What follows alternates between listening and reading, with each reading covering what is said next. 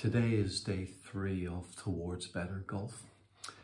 Yesterday, uh, day two, was about transferring the weight, and day one was about the whole idea of taking a shorter backswing. Today, I've just been doing the reps, etc., but I was reminded while I was practicing of a particular book by John Updike and this particular book, Golf Dreams. And he writes on page 149 And the bliss of the swing, the one that feels effortless and produces a shot of miraculous straightness and soar.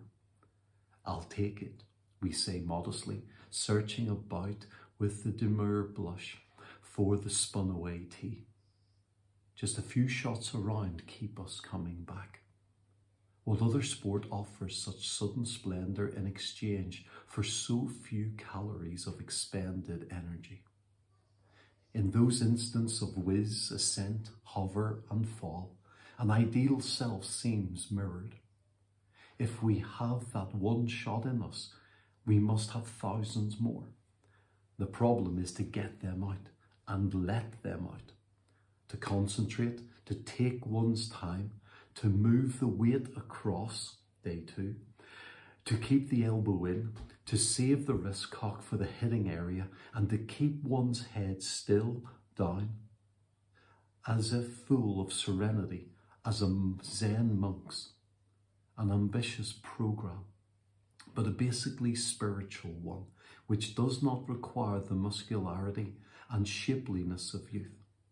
What other sports hold out hope of improvement to a man or woman over 50. True, the pros begin to falter around 40, but it is their putting nerves that go, not their swings.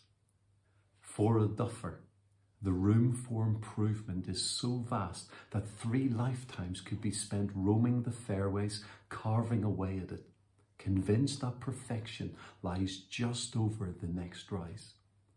And that hope, perhaps, is the kindest bliss of all that golf bestows upon its devotees. Day three, just a few thoughts.